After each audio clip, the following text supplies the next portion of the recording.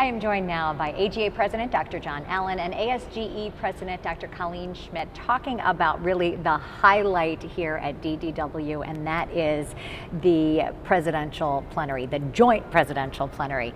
Right. Three hours, I know, could be so much longer. There is so much packed in here. Can you talk about the highlights? Well, first I'd like to say that it's just a distinct honor that I get to work with Colleen, and it's been a wonderful partnership to put this very scientific, very cutting edge plenary session together between the AGA and the ASGE. So I, I want to start with that and really thank you for all that we've done together. Yeah, it's been a great experience. We have a plenary session that I think incorporates everything from the best pharmacological treatments for chronic diseases to new cutting edge endoscopic techniques to training and education. So it's going to be an interesting plenary it's so all encompassing. It is. So the way we've set this up is to have keynote speakers in various topics. And that's really paired with the best of science from cutting edge research presented in 10 minute abstracts. So for example, from the AGA side, we have a keynote speaker on obesity and metabolic health. We have one on inflammatory bowel disease and the intersection between the microbiome and inflammatory bowel disease with new treatments targeted. And the third is an overview of the genetics and epigenetics that are important to gastroenterologists. And we've paired abstracts very specifically with those talks to really present the most cutting edge on these broad topics.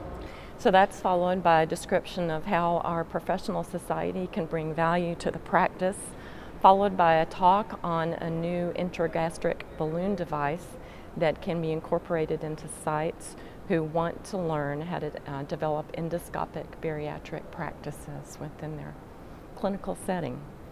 We have uh, a talk by an expert on the uh, PIVI process, which was developed by the Society, that actually looks proactively at new technologies and how can we preserve and incorporate those valuable technologies into our practice. So that segues from the intragastric balloon device into other new technologies and a presentation on that topic. I see the two of you getting along so well personally, but I think that collaboration between AGA and ASG really has been so instrumental in advancing this practice.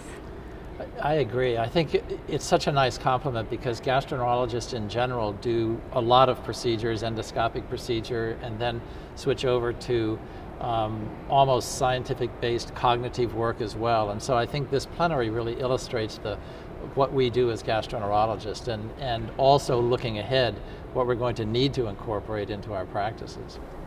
It's hard to anticipate what the future is, but I think probably both of our addresses actually look at that. What is the future in view of the past and our current experience? And one of the things that we worked on together very effectively has had some really tangible results and you'll hear some of that discussed in our plenary addresses. So we've done a lot of advocacy work together, for example.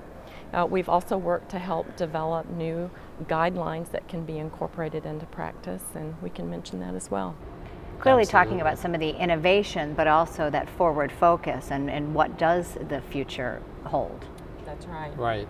And, and it's, it's becoming clearer, but it's still very, very disturbing to many physicians, not only gastroenterologists. And and what we're going to try to bring is you know, plans for the future that really meet some of these challenges.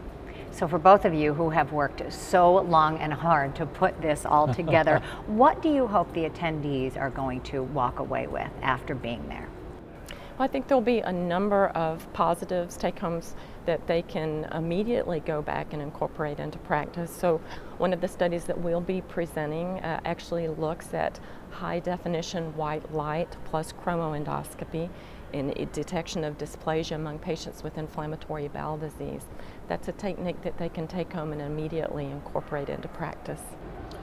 I think the whole concept of gastroenterology getting into obesity and metabolic health work is just going to be very important. And, and, that's something that traditional gastroenterologists have not really entered that sphere. But there's a combination of incredible advancements in the science of, of how appetite and how um, satiety works.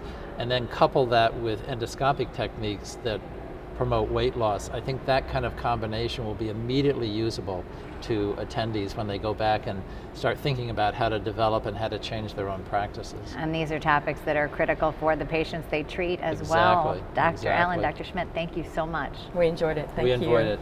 Thank you.